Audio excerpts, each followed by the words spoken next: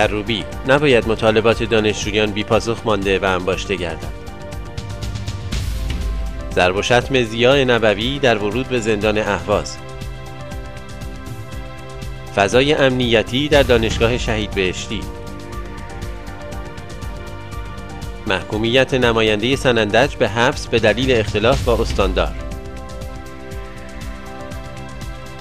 سخنان احمدی نژاد درباره مجلس فرافکنی و بحران آفرینی است فرمانده نیروی دریایی امارات جرأت بازرسی کشتی های ایرانی را ندارد. ادامه نداشتن خودکفایی بنزین. توهین مدیر مسئول کیهان به همسران شهید باکری و همت.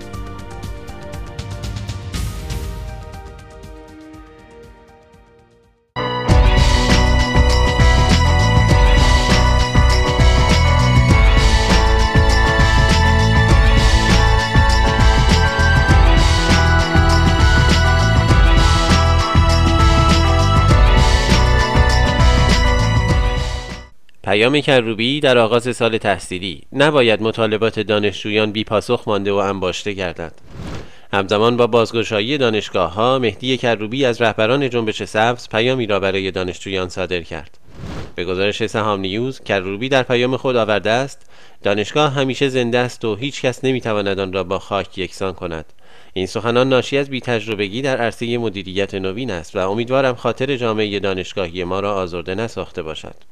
مدیریت علمی آمیخته با هنر است که در عرصه مدیریت دانشگاهی به دلیل وجود قشری جوان ظرافتهای خاص خود را میطلبد. وی ضمن ابراز امیدواری در جهت عدم تکرار چنین صحبتهایی افزوده نباید مطالبات دانشجویان بی پاسخ مانده و انباشته گردد. باید فضای سیاسی دانشگاه ها چنان باشد که دانشجویان بتوانند مطالبات خود را آزادانه در میز گردها و تشکیل جلسات مطرح نمایند. دبیر کل حزب اعتماد ملی با اشاره به فشارهای سیاسی و امنیتی علیه دانشجویان آنها را به حضوری پویا با رعایت قوانین کشور دعوت نموده و گفته عزیزان من سالی که گذشت سالی سخت و پرفراز و نشیب برای همه ما بود و متاسفانه جامعه دانشگاهی ما هزینه های گذافی را پرداخت و در این میان شما دانشجویان در کنار سایر مردم مورد بیشترین آماج و حجمه های سیاسی قرار گرفتید که به نوبه خیش همیشه در احقاق حقوق به حق و قانونی شما پایداری نمودم. شما امروز روزگاری سخت را صبوری می کنید مهدی کروبی در پایان ابراز امیدواری کرد که در سال تحصیلی جدید با حذف نگاه امنیتی به دانشگاه و اتخاذ رویکردی منطقی و متناسب محیط دانشگاهی و با بهرهگیری از سعه صدر توسط مسئولین مربوطه هرچه زودتر شاهد بازگشت دانشجویان محروم از تحصیل به دانشگاه و آزادی دانشجویان زندانی بیگناه باشیم. زیای نبوی در ورود به زندان اهواز مورد ضرب و شتم قرار گرفت. ضیاءالدین نبوی فعال دانشجویی که طی چند روز گذشته به زندان کارون اهواز منتقل شده بر اثر ضرب و شتم و انتقال به سلول انفرادی در وضعیت نامناسبی به سر می‌برد. به گزارش کمیته گزارشگران حقوق بشر زیاء نبوی پس از ورود به زندان اهواز به شدت مورد ضرب و شتم قرار گرفته و مدت 48 ساعت را در سلول انفرادی سپری کرده است. کمیته گزارشگران حقوق بشر به نقل از منابع آگاه گزارش داده است که وی همکنون به بند امنیتی زندان کارون اهواز منتقل شده است. گزارش های دریافتی حاکی از وضعیت نابسامان بهداشتی و غذایی در زندان اهواز است. مجید دوری دیگر عضو شورای دفاع از حق تحصیل نیز در روزهای اخیر به زندان کارون اهواز انتقال یافته است.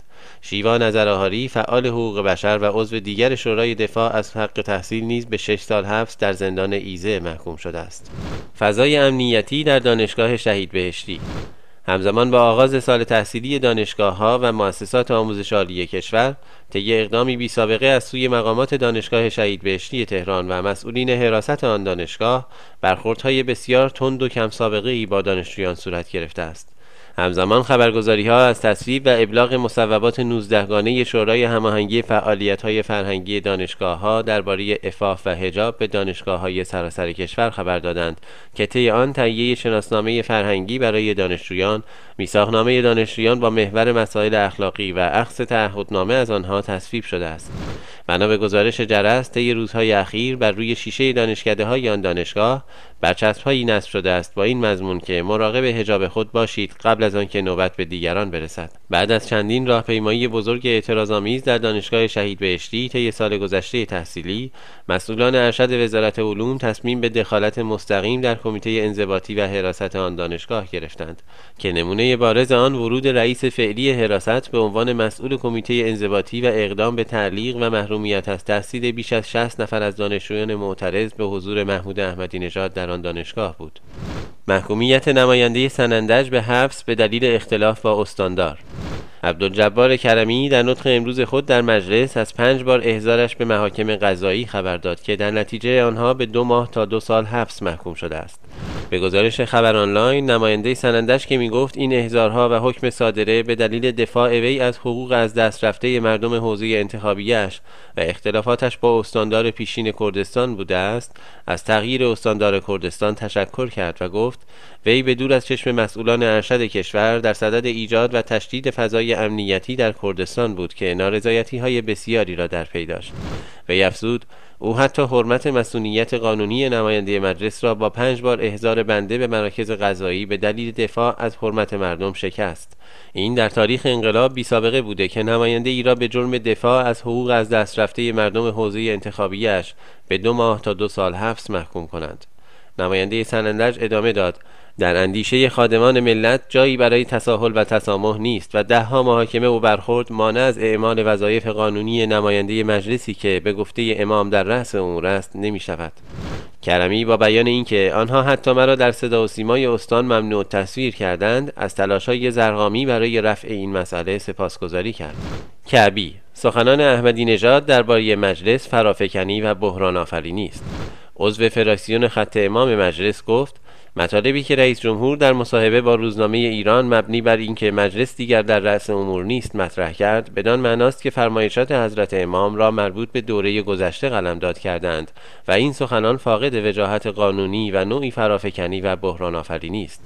وی با تاکید بر اینکه امام خمینی در فرمایشات مختلف اظهار داشتند که مجلس در رأس امور اساره ملت و برخواسته از الله اکبرهای مردم است گفت فرمایشات بنیانگذار کبیر انقلاب اسلامی در رابطه با مجلس زمانی مطرح شد که در قانون اساسی دو وظیفه مهم قانونگذاری به موجب اصل 58 و نظارت بر اجرای قانون از طریق سازوکارهای مختلف برای نمایندگان به تصویب رسیده بود.